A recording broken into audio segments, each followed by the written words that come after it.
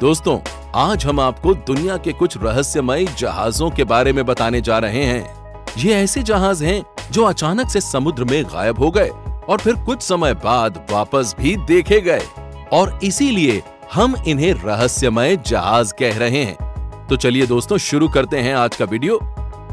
सबसे पहले बात करते हैं द जेनी जहाज़ की।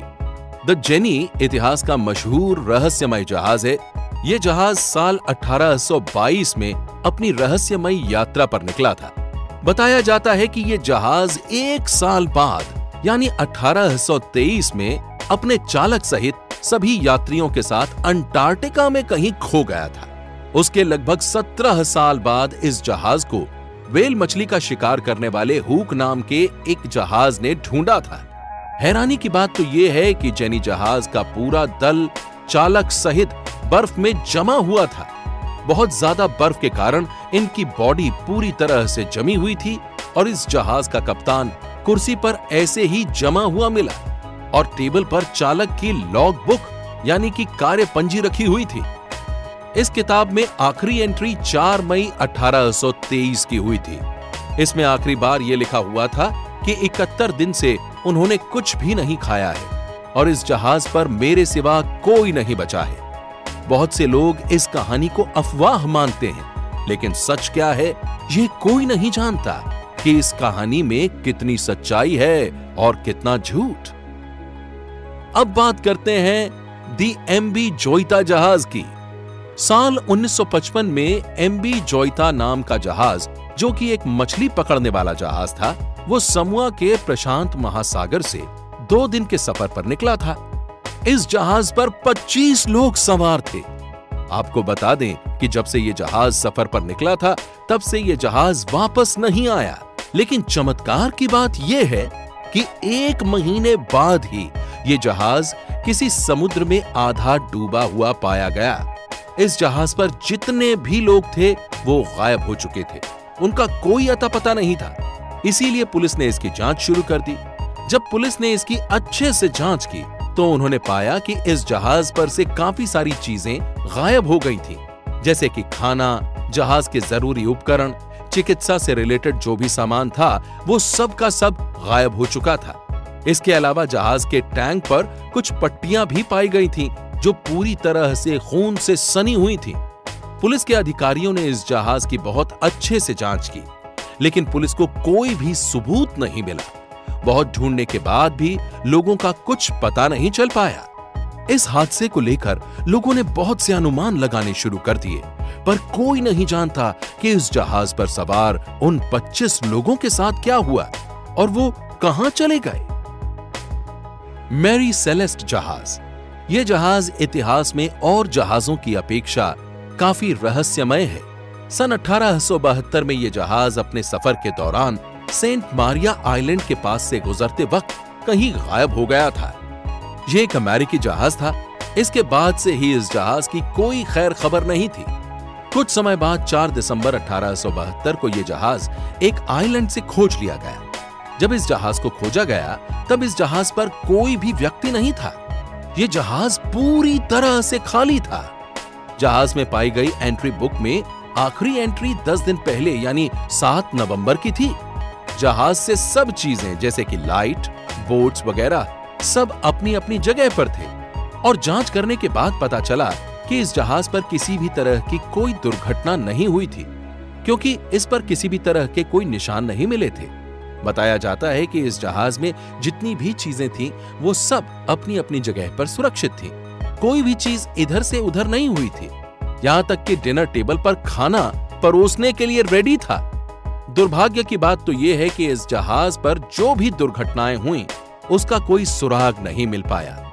और ये रहस्यमय घटनाएँ आज भी रहस्य ही बनी हुई हैं। अब बात करते हैं गोस्ट शिप की। आखिर ऐसा क्या हुआ होगा, जिसकी वजह से शिप में बैठे सभी लोगों की अचानक से मौत हो गई? 1947 की यह घटना आज भी रहस्य बनी हुई है। 1947 में यानी वर्ल्ड वॉर के ठीक दो साल बाद, इंडोनेशिया के समुद्र में शिप को कॉल आती है। इस कॉल में यह मैसेज दिया गया था कि शिप में जितने भी लोग थे, उनकी मौत हो चुकी है, जिनकी बॉडी बोट और ब्रिज पर पड़ी हुई मिली है। इस मैसेज के लास्ट में उस व्यक्ति ने कहा था कि इस शिप के क्रू मेंबर्स की भी मौत हो चुकी है, और आखिर में सिर्फ़ मैं ही बचा हूँ। जिस शिप ने सबसे पहले इस कॉल का जवाब दिया, उसका नाम था सिल्वर स्टार यह जहाज़ अमेरिका का था।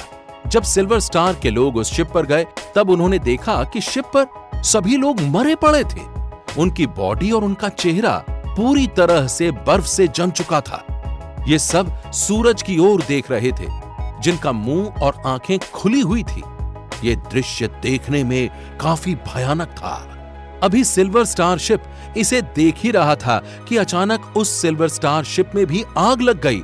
और वो पूरा का पूरा जलकर पानी में डूब गया। चौंकाने वाली बात तो ये थी कि इस जहाज़ का नाम किसी ने भी नहीं सुना था। इस जहाज़ का नाम कहीं पर भी रजिस्टर्ड नहीं था। ये जहाज़ कहाँ जा रहा था और इसमें कितने लोग सवार थे, इसकी जानकारी भी किसी को नहीं थी। कुछ लोगों का मानना था कि यह शिप स्मगलर्स का था, जो इसमें काफ़ी खतरनाक केमिकल्स भर कर ले जा रहे थे। इस शिप पर जितने भी लोग थे उनका फेस ऊपर आसमान की तरफ़ था। इसका मतलब यही है कि वो लोग बहुत ज़्यादा डरे हुए थे। लेकिन उन सबको किसका डर था? और आखिर में ऐसा क्या हुआ कि पूरा का पूरा जहाज़ ही पानी में डूब गया, जिससे सभी लोगों की मौत हो गई। ये घटना आज भी रहस्यमयी बनी हुई है। ऐसा रहस्य जिसे आज तक सुलझाया नहीं जा सका है। Bermuda triangle. बरमूडा ट्रायंगल में 16 मई 2015 में क्यूबा के कोस्ट गार्ड ने बताया कि उन्हें एक जगह पानी का जहाज़ लावारिस मिला है, लेकिन जहाज़ में किसी भी ग्रुप मेंबर से कोई भी संपर्क नहीं हो पाया। इसके बाद क्यूबा अथॉरिटी ने पेट्रोलिंग बोट को तुरंत उस अनजान जहाज़ के पास भेजा। जब ये पेट्रोलिंग बोट वहाँ पहुँची तो जहाज़ का नज़ारा देखकर सभी भौचक्के रह गए, क्योंकि इस जहाज़ पर न तो कोई ज़िंदा इंसान मिला, ना ही कोई मुर्दा।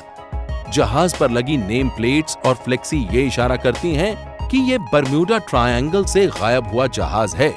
अमेरिका के वैज्ञानिकों ने दावा किया है कि बर्म्यूडा ट्रायंगल पर हादसों के लिए जिम्मेदार है दो सौ तिहत्तर किलोमीटर की रफ्तार से हवा का चलना। इस नए तरीके के तूफ़ान को ईयर बोक कहा जाता है। यहाँ पर हवाएँ दो सौ तिहत्तर किलोमीटर की रफ्तार से चलती हैं।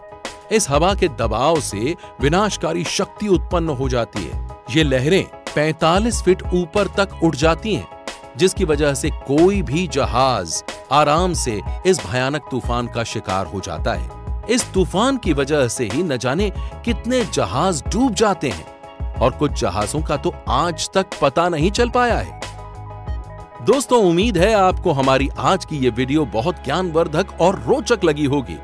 दोस्तों, अगर इस वीडियो को देखने के बाद आपके दिमाग में कोई सवाल है या कोई कमेंट है तो उसको ज़रूर कमेंट बॉक्स में लिखकर हमें बताएँ। आपने हमारा पूरा वीडियो देखा, उसके लिए बहुत बहुत धन्यवाद।